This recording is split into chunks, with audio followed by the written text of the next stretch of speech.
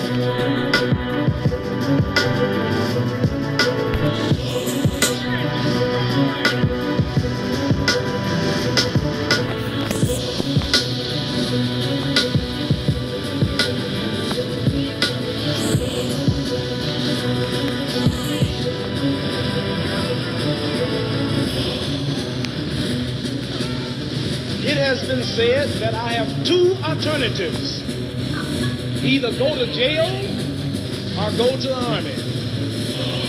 But I would like to say that there is another alternative. And that alternative, that alternative is justice.